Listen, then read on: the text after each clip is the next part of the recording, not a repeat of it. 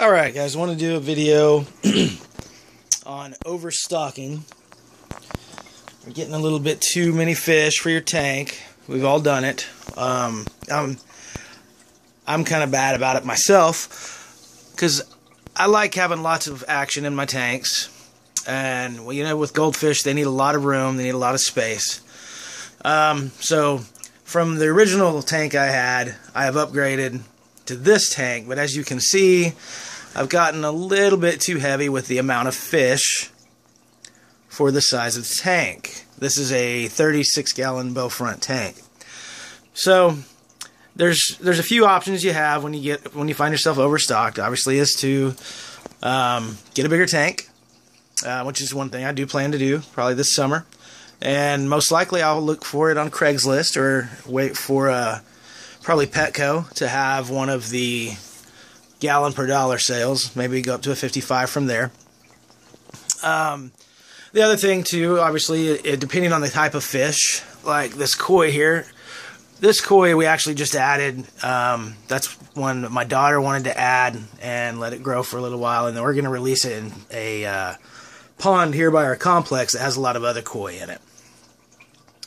But meanwhile, while you're overstocked, um, obviously you, need to take a little bit more care in your filtration and water quality. So, just to show you what I have set up here, I've got two two big Orandas, two uh, Ryukins, I also have a red cap Oranda. I got the new little lion head with the black lips. Um, I've got a Shubunkin and a little gold koi, and there's two Cory cats in here. So that's quite a quite a bit of fish when you're considering the fact that uh, these are goldfish, and especially these bigger ones, need a lot of room to grow. But water quality is one of the biggest issues. So I am doing regular, probably once, at least once a week to two weeks, a 10 to 20% water change, which doesn't sound like much.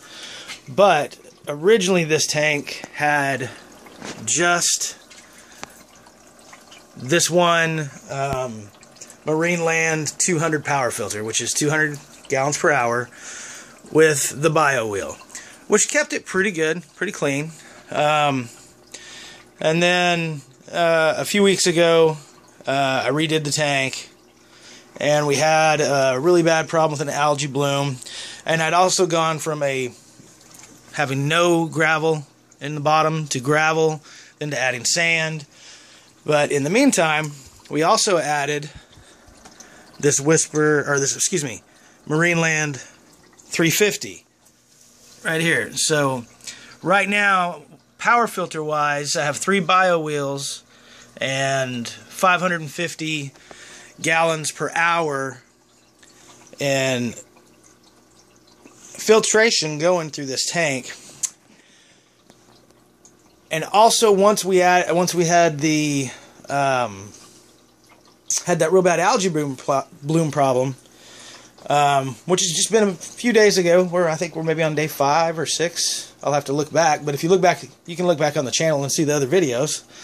Um, we added the green killing machine UV sterilizer, and uh, this is, was the 24 watt um, model, and I didn't do enough research to realize that there was also a 9 watt model, which would have probably been more than enough for this tank. But it has made this water crystal, crystal clear. The majority of it has to do with this, the UV sterilizer. It may not look like it's crystal clear so much, because uh, I see there is some glare here, and we are getting quite a bit of air bubbles from, uh, I don't even have an air stone. That's just from the agitation. Oh, wow. Just drop the camera. Let's see, make sure we're, I'm assuming this is still right side up. Okay, that's just, just from the uh, agitation of the power filters that keeps the, the water oxygenated so well.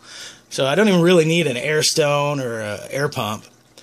But as you can see, the water quality is really good, really clear. Tests all good. Um, the fish are happy.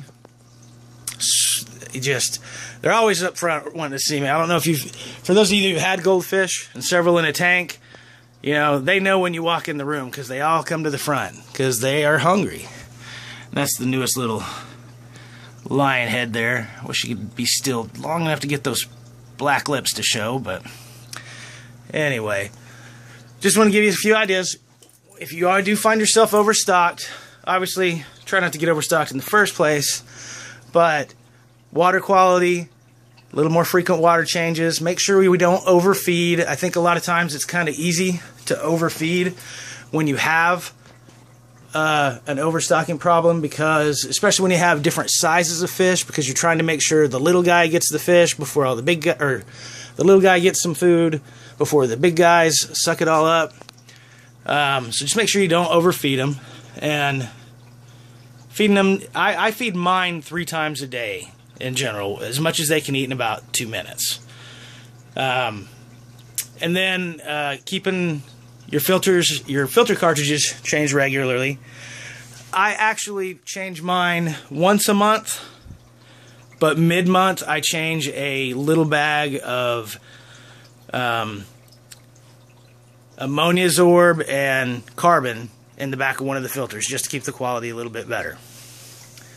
So hopefully next year, within the next year, we'll just get another great big tank and because I'd still like to get a few more. I really want to get a couple Ryukins and, and add to the family. Thanks for watching.